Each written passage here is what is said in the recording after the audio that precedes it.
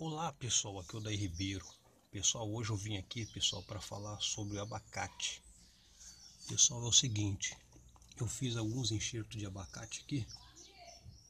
E é o seguinte, as, os primeiros enxertos que eu fiz, não sei o que aconteceu, pessoal, não sei se foi fungo, não deu certo. Acabou não pegando. Mas eu continuei, eu testei, vou, eu tô testando fazer enxerto com Estou testando fazer enxerto com pregador que eu vi em alguns canal aí e deu super certo, pessoal. Olha só, enxerto de, de abacate que eu fiz, fenda cheia com pregador. Aí, pessoal, como é que tá com o broto lindo, enxerto de abacate.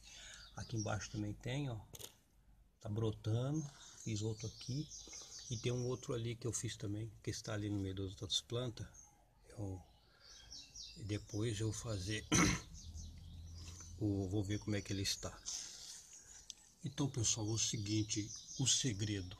Esse vídeo aqui o nome dele vai ser o segredo do abacate do enxerto de abacate. O segredo do enxerto do abacate pessoal está no no, no como escolher o galho. Eu escolhi um galho herbáceo que é um galho não tão muito maduro lenhoso.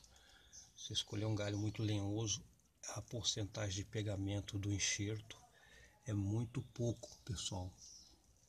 É, então eu escolhi uns galhos meio verde claro, um galho herbáceo para fazer o enxerto. Eu testei com pregador porque falaram que o enxerto com pregador é melhor, né? Eu coloquei um pregador. Não que os outros não dá certo, pessoal, mas esse eu estou fazendo um teste agora. Pessoal, visite nosso meu canal aí, canal da Ribeiro e as Plantas. E deixe seu like aí, curte o nosso canal. E muito obrigado pela sua visita.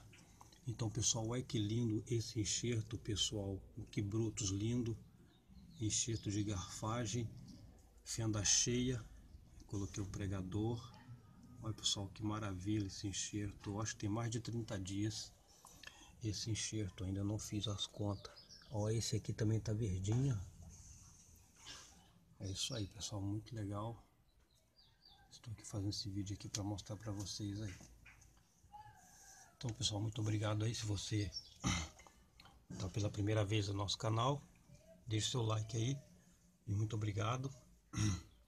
E é o seguinte. É isso aí, pessoal. Muito bom mesmo enxerto de abacate, muito bom.